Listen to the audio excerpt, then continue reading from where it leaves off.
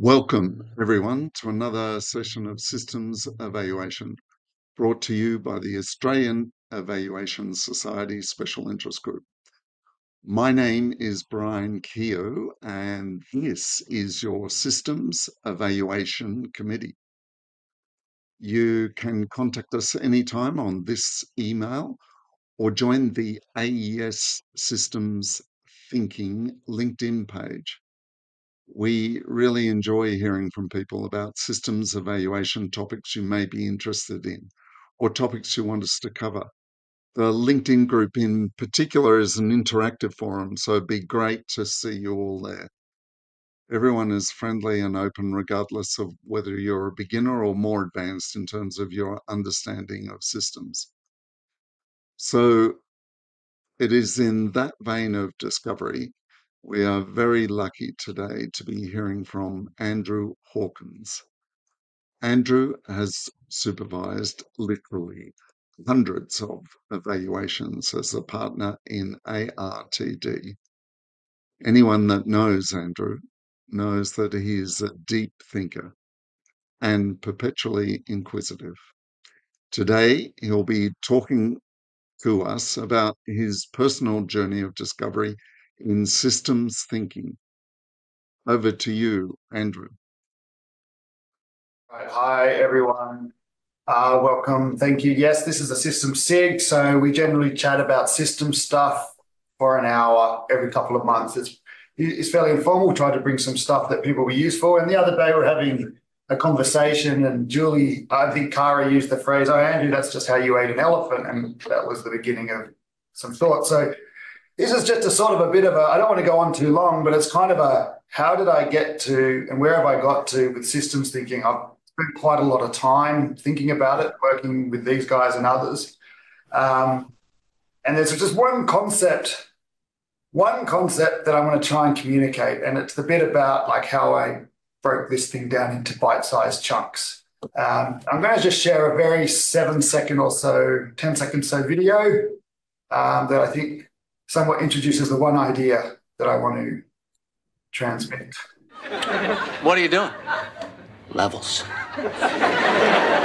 Levels. Yeah, I'm getting rid of all my furniture.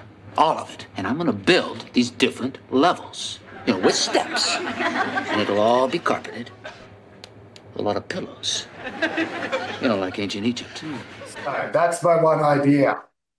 Levels. Uh, I'm going to talk about that. And the more scientific way of talking about it is called stratification.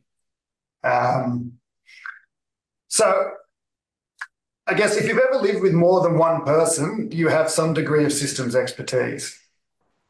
If you know everything that's ever happened on Earth, you have deep systems knowledge. So what I'm trying to do here is somewhat just demystify the idea of systems thinking, systems evaluation, systems intervention, systems evaluation. Because where I've got to is that systems thinking is about studying how stuff on Earth works. And that's both difficult and less mystifying than system thinking needs to be.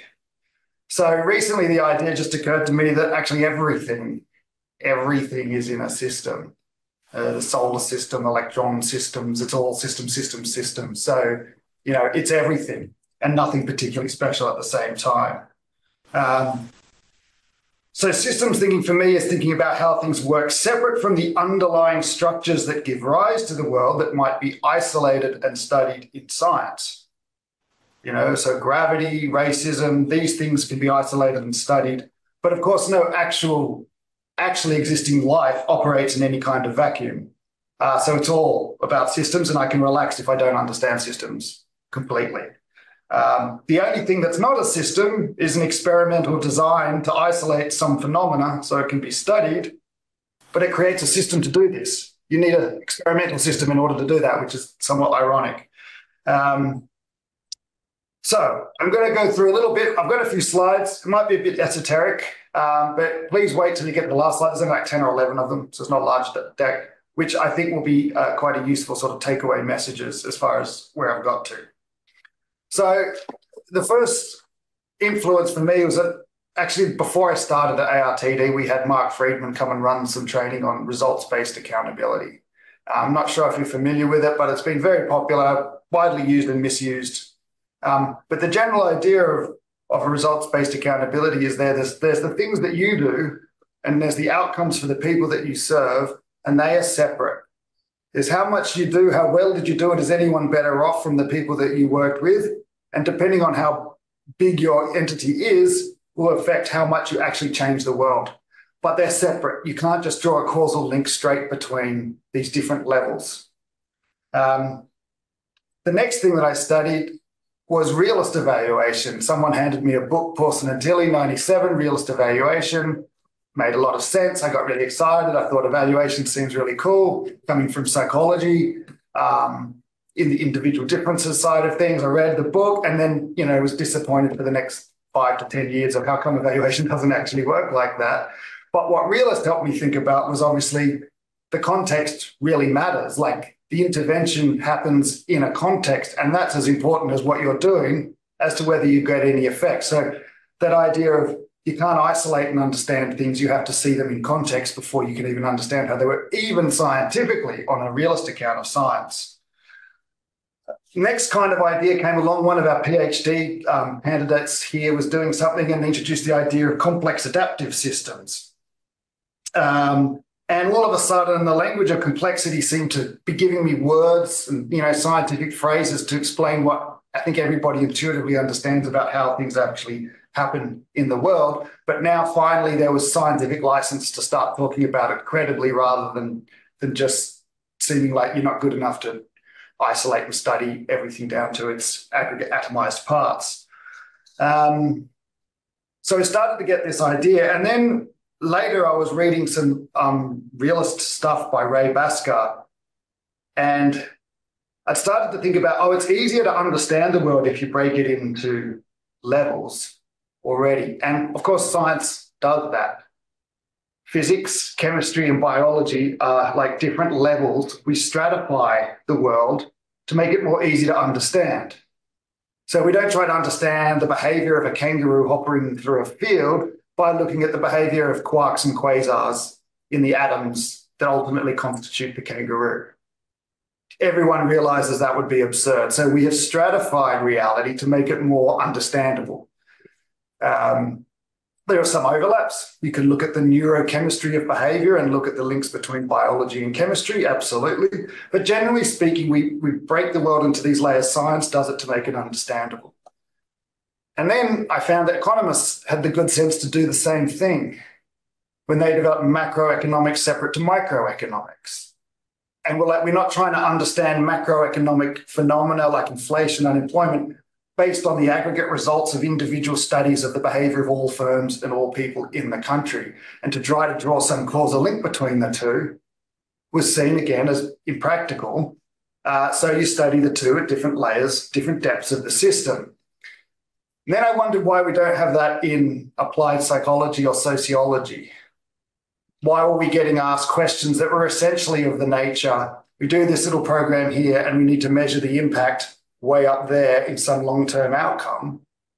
It seemed to me absurd to economists and absurd to physicists, chemists, and all other branches of science, but, but somehow sensible in the most complex science of them all. So that struck me as very strange. Uh, then it came across, um, I think one of the things that I, really like was big history. I don't know if any of you others have seen this big history where it's this idea they break history down into these eight or nine major chunks, thresholds, whereby new things emerge. So that were completely unpredictable from the things that came before them. So uh, before stars collapsed, you couldn't predict life on Earth because there was no such thing yet as all of the periodic table, all of the elements that would make up life. So you get this progress of the of depth of reality that you can't understand or even predict from more fundamental levels. Um, the idea was that um, I don't know if anyone knows the Cynefin framework became really important to me because it was the idea is oh you can classify systems into types of systems simple complicated complex chaotic and so then that helped me understand that hey, if I want to evaluate a system, first I need to know what kind of system is it. And then it makes it more knowledge, more easy to understand as well. Uh, and then I came across some work of Ralph Renger with Brian, and he was studying a particular type of system, the kind of system I'd call a complicated system, not a complex system. So the kind of system they're looking at is like how cardiac care works in a rural state, or potentially how McDonald's franchise works. It was knowable. You could see the parts. It was complicated, like a car is complicated, many parts, but it was knowable and it had a common purpose that everyone agreed on. In the case of the car driving, in the case of a cardiac care system, walking out of hospital. So that kind of system lends itself to study in a certain way. But that's far different to the healthcare system. Because what is the healthcare system? Does it include nutrition? Does it include a tax on sugar? Would that be considered part of that system? It's all very complex. Um, so there was it was both simple and difficult. So if I just share some share the script slides again if I can.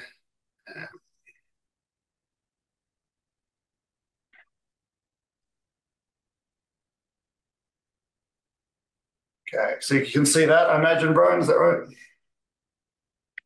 Something, uh, you've, uh, you're probably seeing the little one. It's all right. So in all of these different approaches, the thing that has become apparent to me, the common thread through all of this is thinking about breaking systems into different chunks. And it can be the depth of the system. How deep are you going? Are we staying in the realm of chemist of biology? Are we going to go down to chemistry? Are we going to go down to physics?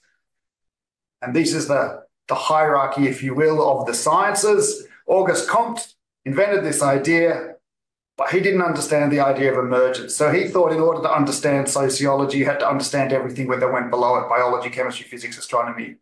Um, but most people would say that's that's obviously not the case because of this idea of emergence, new phenomena not predicted at the at the lower level. But there's this idea of, of levels. Um, and so here is the idea from results-based accountability that what you can be responsible for is your performance at one level, but at a higher level is the actual reason why you're doing things. And there's a difference between your sphere of influence, what you're doing, and your sphere of interest, why you're doing it. But trying to draw direct causal links between the two, which is what we're often asked to do, is the thing that I think we seem to need to resist in systems thinking and be happy to be working within different layers of the system. This was the idea I introduced from the realist idea that actually reality is itself stratified. Not just the way that we learn and know about it is stratified, but the fact that there is real things that we try to study that have real effects. Intelligence, racism, gender roles, these are all real phenomena to realists, but they exist in this domain of the real. Sometimes all of these things interact. Well, they always interact and they manifest as actual events. And sometimes we observe them. But the things that we don't observe might still be happening. And there's certainly, but the point of study of science is to understand the causal, deep causal mechanisms that don't actually physically manifest.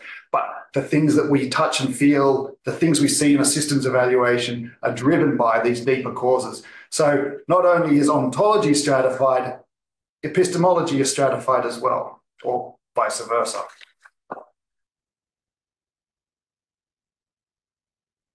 So the Cynefin framework I thought was a really useful uh, addition to this idea because not only do you have the depth of systems, there's types of systems. You know, and I felt experimental evaluation was most appropriate in a very simple system, whereas realist evaluation was useful when things got more complicated systems evaluation when things were complex. I probably change that a little now and say systems works in both sides. It just depends on whether it's relatively complicated or complex. The difference being how much emergence is going on, how much unpredictable things are going on, how in a really complex system, people might not even agree on what the outcome of the system needs to be. What the outcome of the housing system is it homelessness or is it a long term investment property for mum and dad or both? Like they conflict. How does that work? That's a complex system. And a chaotic system, kinds of things that happen when you invade other countries. Uh, you end up destroying a whole lot of um, emergent properties. So, where did all of that get me to is kind of this slide. Um, and the blog that I wrote was kind of the same thing, which came from having evaluated quite a large number of systems change initiatives, at least publicly described as systems change initiatives. Some might be just a bunch of stuff. Some might actually be a systems change because it's worried about the connections and the relationships between the parts and trying to improve those parts. Um, so when I was doing some work in this on a few different systems change initiatives, you know, came across the waters of systems change uh, concept. And lo and behold, here again, everything was being stratified into levels. Um, there were the mindsets that we were trying to transform at this deep ultimate level, then which is sometimes hard and a long-term proposition. Then there's the, the relationships that we're trying to improve. And that was the thing that I thought many systems change initiatives more feasibly are going to be able to do is improve the relationships within the system. And then at the operational level, there were the usual questions for efficiency about how well did you do the things that you were trying to do. Again, it's all seemed very like RBA as well, stratifying things into the level of what did you do and how well did you do it. So I came up with these four questions for like evaluating a systems change initiative. And the first is like, what is the system we are trying to change? Uh, what type of system is it? Is it one that is a natural system, you know, that gave rise to problems like homelessness and housing system? Capitalism is a system that gives rise to problems. It wasn't a system designed to solve anything. It just kind of evolved. So those are the systems that create problems.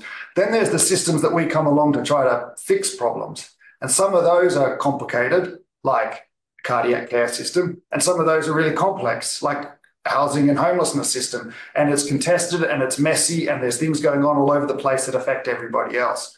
But the most important thing is to define the boundaries of the system. And systems, that's the first principle of systems evaluation, really is what it, what's within your, what are you defining as the system? And for me, that's not just the breadth, but the depth of how deep are we going in terms of, of change and how many actors are basically willing to talk to us is my first test of that's how you determine define the system. Who's in your sphere of influence? Not the Queensland Child Protection System. If the cops won't be willing to work with you on your initiative, then you're going to have to redefine the system to a degree to the pragmatic one of who we can work with. Um, what are the relationships and mental models that might be holding us back amongst those in our system? What are the conditions we're seeking to change? And getting clarity on what we mean by the system is really the first step. The next step is then to think about well, are we funding the right things?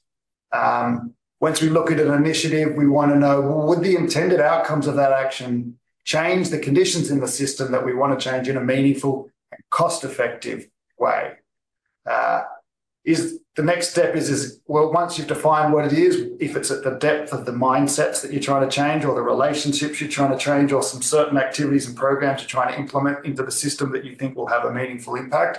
And you then you need to go, well, what realistically are we going to be able to achieve by these initiatives and understand it as a proposition for action. And what you're trying to come up with is a coherent plan that will uh, shift these conditions that avoids the needs for heroic assumptions. If you can put a plan together that subject matter experts agree that yes, if we achieve those outputs and those assumptions hold, those general outcomes will come, then I'd say you have a, valid proposition for action. The rest of evaluation of implementing that action is about whether or not all those conditions that were necessary actually came about if they did, then it's not just a valid proposition, it's now a sound proposition. Uh, then we move, so we just want to know then, once we've funded the right things, did the people we fund do what they said they would do? And if this, if you're a grantee running a systems change initiative and you're giving money to someone to do something and they've convinced you it's a good idea, the outcomes have already baked in because the outcomes are a product of what you chose to fund and then what they did. But then asking them to go and measure their outcomes in a complex system at the level of the whole system is firstly something they very rarely can actually do. And people waste a lot of time and effort on the rhetoric of we need outcomes to make decisions about how to improve our performance, which is a fraud in most cases. You don't learn how to improve your intervention by trying to attribute the outcomes to some ultimately important, the why you're here question, but not the what you're doing question. And if we all, I'm sure we're all familiar with the amount of wasted potential that's gone into that, measuring an outcome when we could have used that time and money to look at what we're doing and make it better. The example would be a very simple one is a polio vaccination program. If we were going to vaccinate people against polio, should our evaluation measure the outcomes in terms of the number of people who do and don't get polio? Someone might say that sounds like a good idea. Um, but all you're going to be doing is then trying to re-establish what's already been shown clearly to demonstrate that immunization does work to prevent polio. So if you want to spend those evaluation dollars in a way that actually helps people on the ground, you're probably going to spend it better trying to improve the system of immunization that you have to increase the reach of it, to get more people, understand the barriers to uptake and all those things, rather than spending a lot of time and money in a one-off trial that's replicating well-established research. And I would say is a waste of taxpayers' money. So then my point being, once you've chosen the things that you think are a good idea to make change of conditions that are within your control to change, and the people that you've given the money to have done what they said they were done and done it well and achieved the outputs and realistic outcomes that they could achieve, you've just got to start asking yourself, well, are we, are, is the system, current system conditions now, next year, suggest that we should do more of the same? You know, are we doing the right things right? Good, move along. Are we doing the right things but wrong? Well, you'll understand that because the people aren't doing what's in question three. They're not doing what they said they would do. Or the difficult one, are we doing the wrong things right?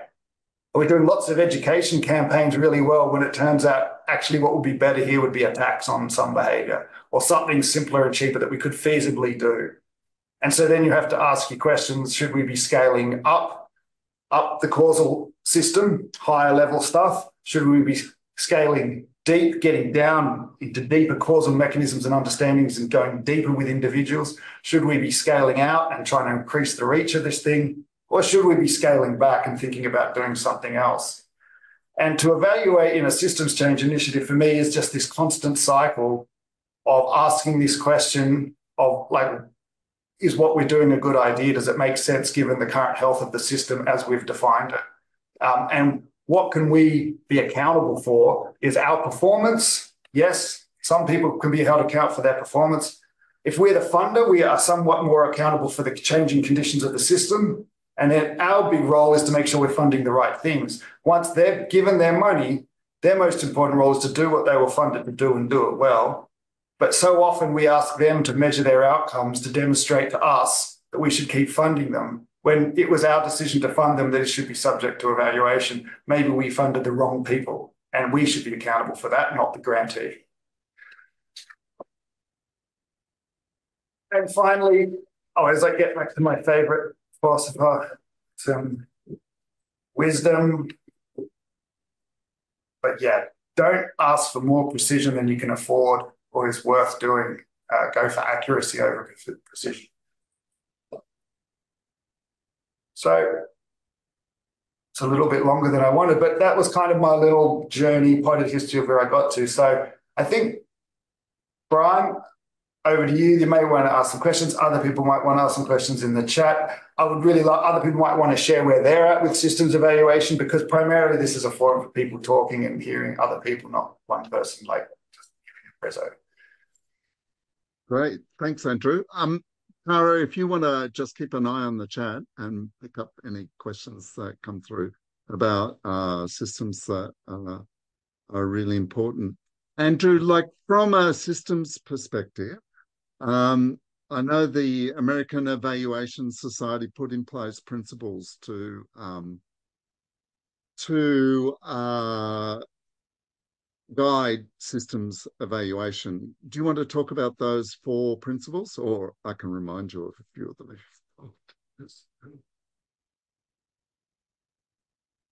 Uh, you're just on mute, Andrew.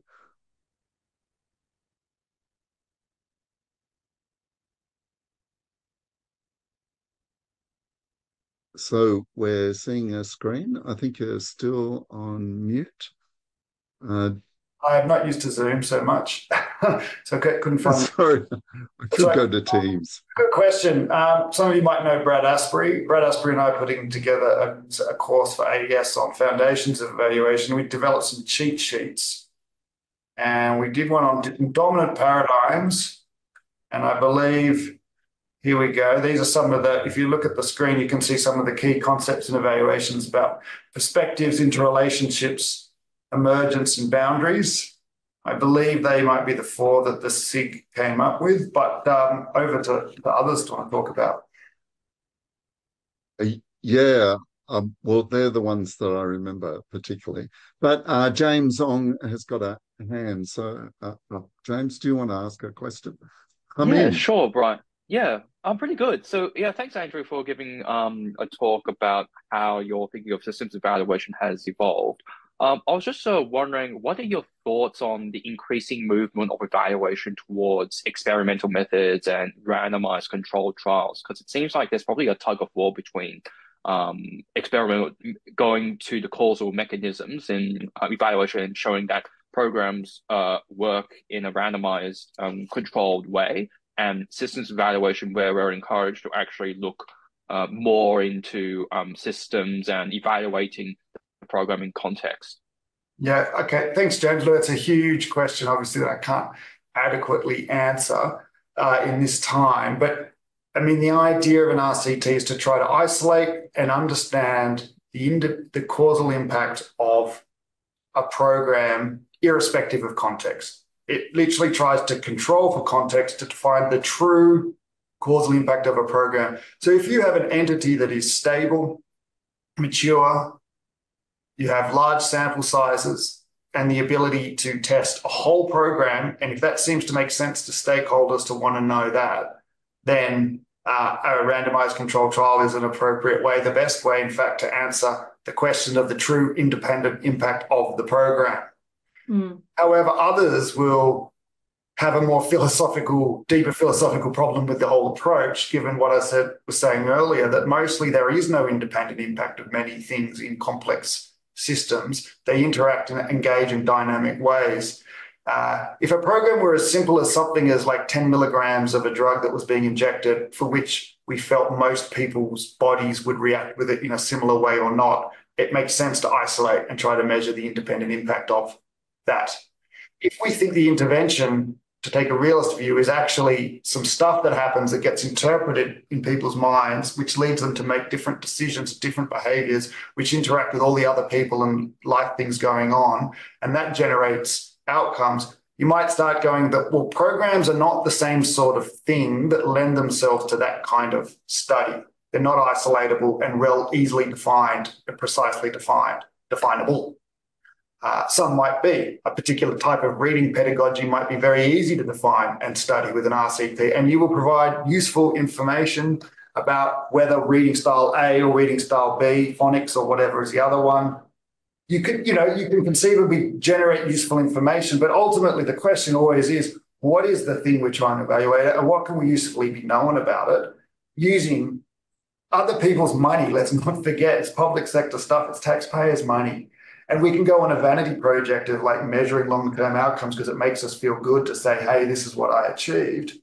But I mean, would you do that with your own money? Or would you use your own money just to use a lot less of it to try to understand how I could do this a bit better? And I think some of that lack of discipline is what leads to some uh, uh, inflated approaches to what evaluation is as distinct to what scientific research is. I think Andrew, there's a Thank good you. comment in the in the chat about that, but I think the one um every every approach has its value. I think the trap that people fall into is that they think that that there's there's a winner and there's not. You have to understand what particular approaches are good at good at doing and what they're not good at doing and use them appropriately. And an RCT, as you're saying, is really good for understanding a very specific kind of primarily contextless causal mechanism. But if you then you can't, you know, there are natural limitations around that. But uh, my observation is meant not enough people appreciate where where you where those you know where the strengths and weaknesses sort of start and stop and being kind of honest about that um, because again there's there's there's limitations with taking a systems view. You can't it's harder to get that level of precision.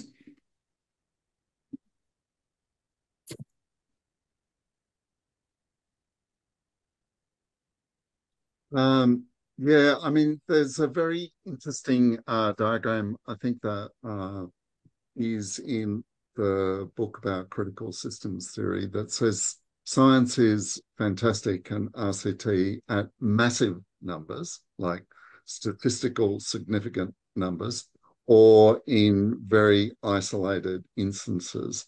And yet, um, so I think it's great you know, if you can do an RCT, fantastic. That's really, really good. But as someone said in the chat, and I'll just go down to it, is um, Crefton Parker said in the chat, why not do both?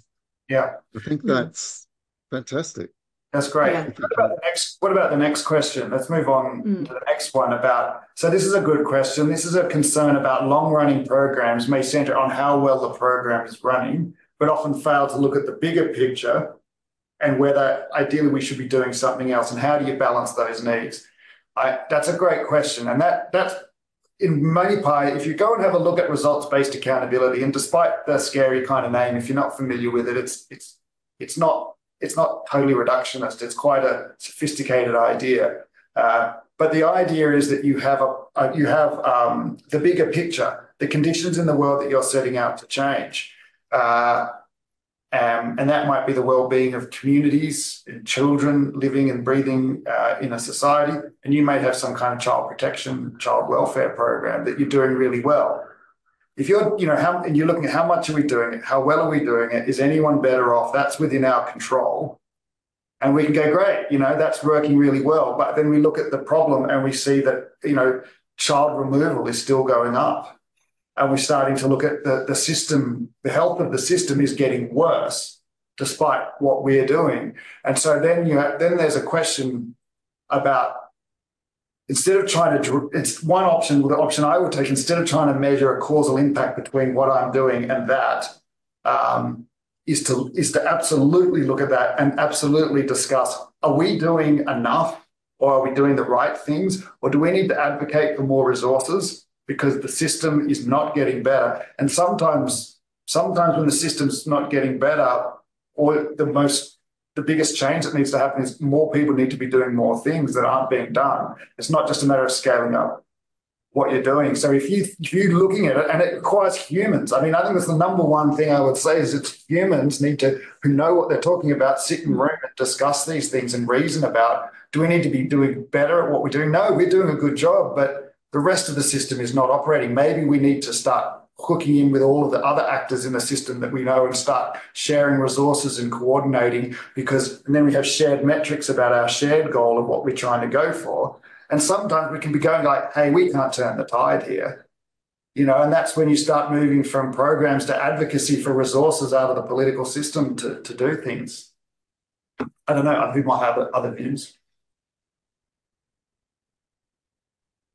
Andrew, there's uh, another great question from uh, Kieran Golvan, um, and that is a sense check. As Kieran, do you want to unmute and just ask? Yeah, yeah. Um, can you guys hear me? Mm-hmm. Yeah. Right.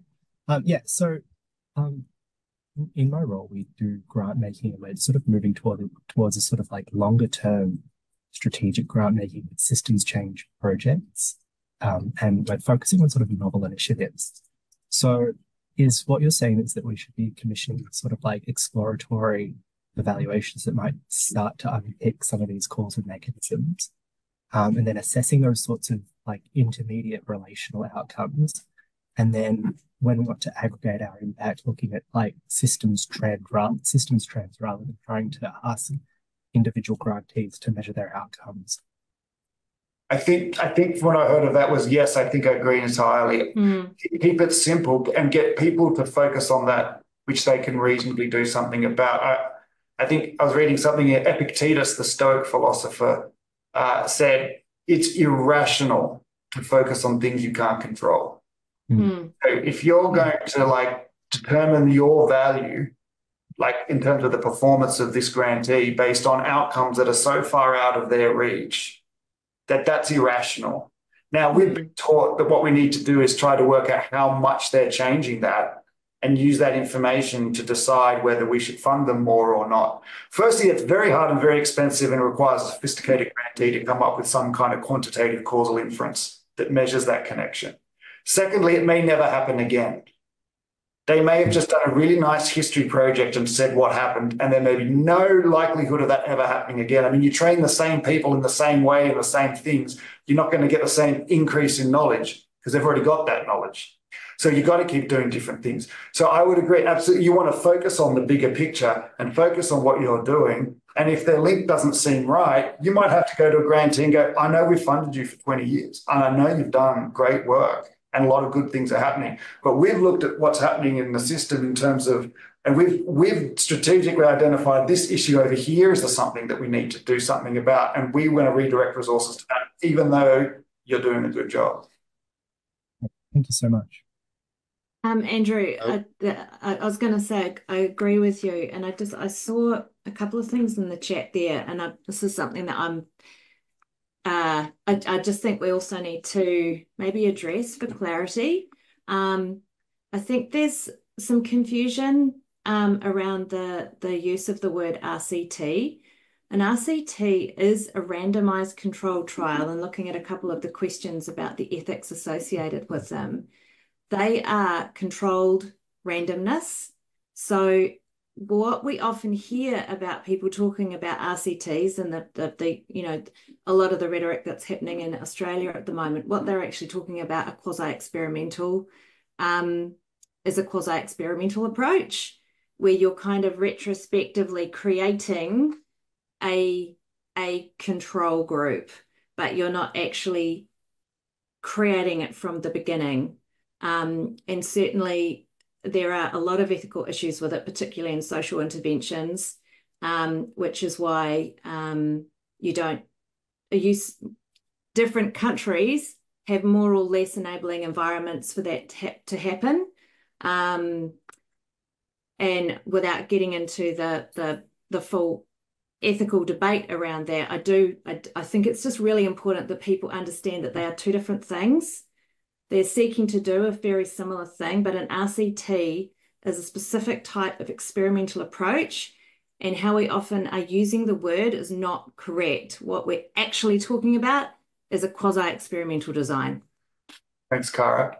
Um, Graham has got his hand up as well. Oh, hello. Uh, thank you for that. It's all very interesting.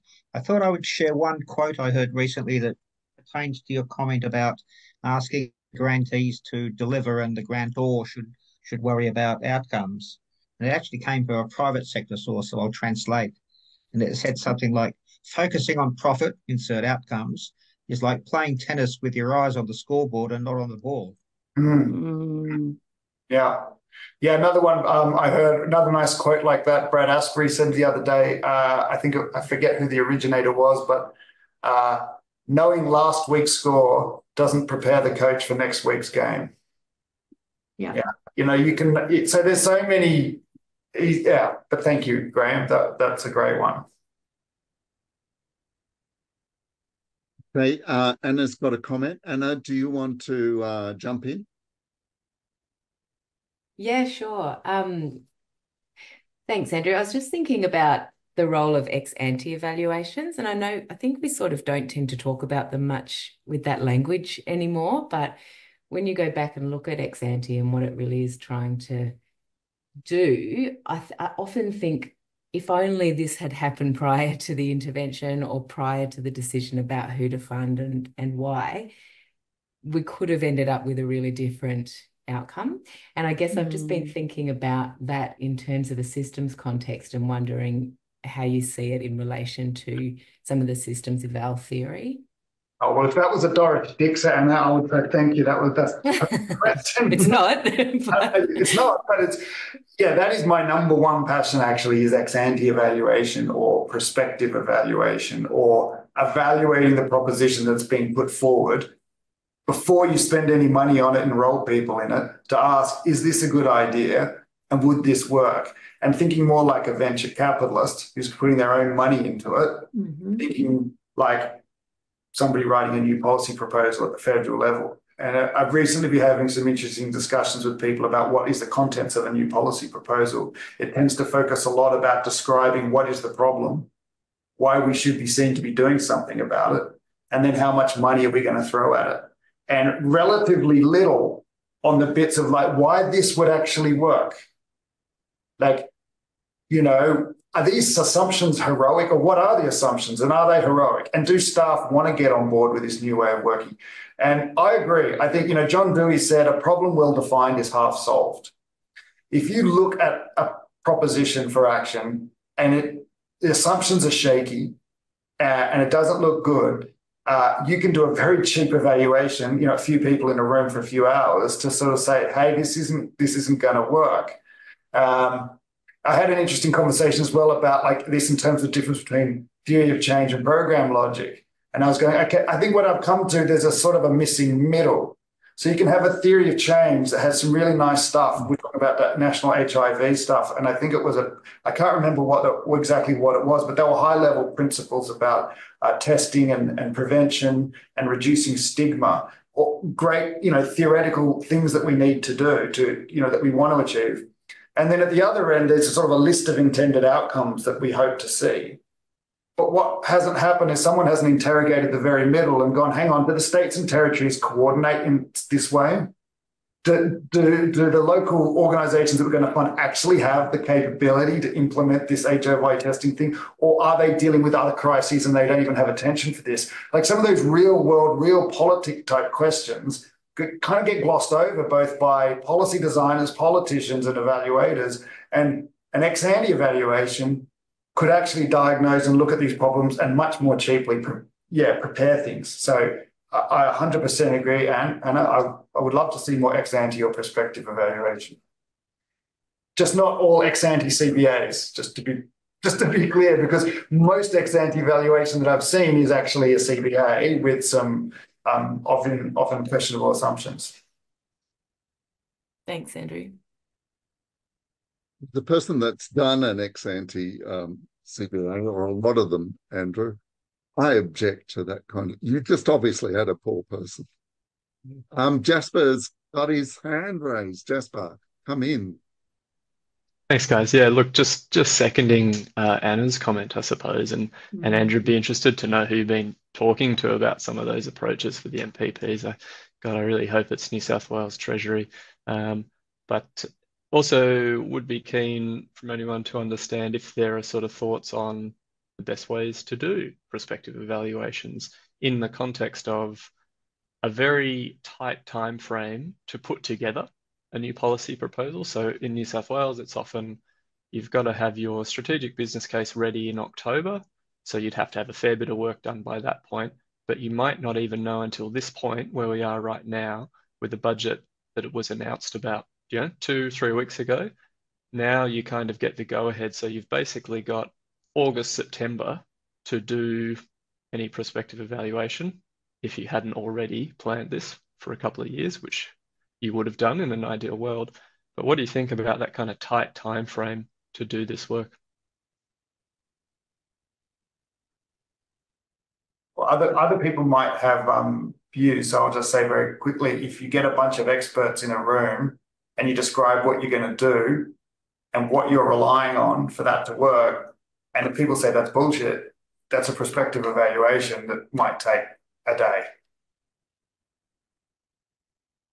So Kara and I have both done uh, courses in uh, rapid impact uh, evaluation.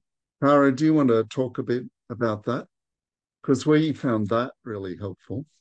Yes, although I probably wouldn't use that. I, I was actually going to say something different, um, if I may. Um, I think the key thing to a, a prospective evaluation is testing the assumptions that are going alongside the design because that's the piece that I think the the, the greatest crimes of wishful thinking occur um, and an honest interrogation of how realistic some of the assumptions are.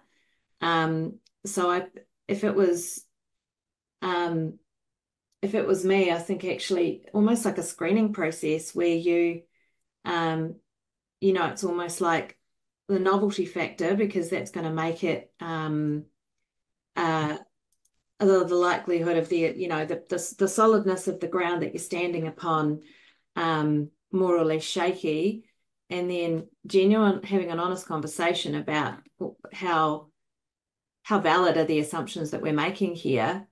Um, and use that as your starting point particularly if you had you know and and and then figure out from there okay might we need to sort of go a bit harder in that ex ante um, sort of evaluation and really kind of really test some of those or if if, if in, in generally it, it seems to be holding up then then you might um, take a slightly different approach but yeah, I think for me, that's what what we often see is that sort of design in a hurry, um, and people just don't stop to.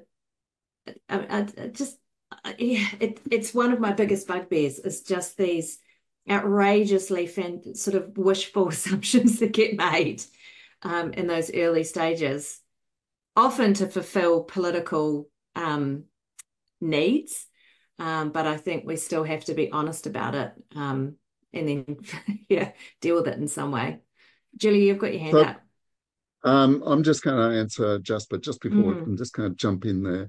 Um, I found uh, Dr. Andy Rowe's work and rapid impact mm. uh, evaluation really helpful. I, you know, I've gone through it in a great deal of detail and I find it is what it says it is. It's a rapid and cost effective way yeah. to do an ex ante uh, evaluation. So, uh, Jasper, you've got my contacts if you want to know more about it. Happy to uh, take you through the process. Thanks, Brad. it does require Julie. people coming into a room, like yeah, as as actually any good evaluation would require you to do. Yeah. But it it has a lot of legitimacy, so uh, mm. it's certainly got a lot of evidence behind it. Yeah, Julie. Thanks. So, um, you know, when they when Michael Jackson maps out all the complexity or the the systems approaches, uh, he uses the simple, complicated, and complex ideas, but also looks at you know the unitary, pluralist, and coercive ideas. And so I was really pleased to hear you say about um, systems approaches that sort of look at the complicated systems, like like the car example that you gave, because I think it's important that we differentiate and talk about what the nature of the different types of systems that we work in. So some could be quite straightforward and simple, like improving a queuing system at a at a service delivery station or something like that. That's going to be very different different to working on some sort of entrenched, messy, wicked problem, right? And and um, one of the things that's really interesting to me is that in in Jackson's mapping, he only covers um, pluralist and coercive um, stakeholder independencies for the simple systems. And so what we have to acknowledge is that we haven't really got clear guidance from systems thinkers, systems theorists on how to um, work in the messy space that many of us work in. And so we have to put things, patchwork things together as best we can. What, what do you think about that idea, Andrew? Well, I'll profess not understanding all of the concepts, um, but I would say, look, almost all of it just comes down to being real, like getting real and cutting the crap and thinking about, look, what can we actually change here? Like, who am I? What power do I have? Who's willing to talk to me? Who's willing to work for me with me? What is the system that we can define? And then go to what extent can we all agree on a certain path forward? Um, and a lot of it is going to be focusing on. I mean, the fundamental idea of a system is it's it's not the parts that matter; it's the relationships between the parts, and that's where system properties emerge. That's where the beauty of anything that happens with multiple people is that emergent property of people working together. So almost always, it's about improving the relationships between people who have some kind of common goal, and working out what have you got the time and money and energy and expertise to do about it and not overhyping what you're going to achieve. Mm-hmm. Uh, I, I, understand, of course, that people work in a area where they're trying to attract funding and people feel good when they can measure their outcomes and show people some plausible impact that they've achieved, even though the key principle of a system is that no one person achieves anything. Which so it's kind of counterintuitive for people to start claiming how much they've achieved. But I'm not sure that really answered your question, Julie. Do you ever work in areas where there are competing interests, like more powerful interests, and that the um, people potentially affected by the program have no power to express their, their views, but they're at the mercy of the most powerful people? And what do we do in those sorts of spaces?